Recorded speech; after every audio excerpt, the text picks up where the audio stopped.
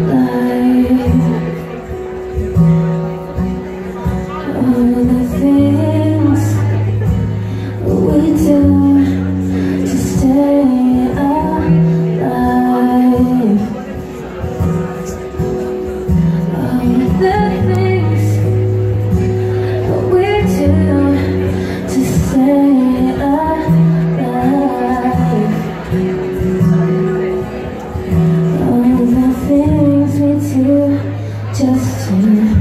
keep ourselves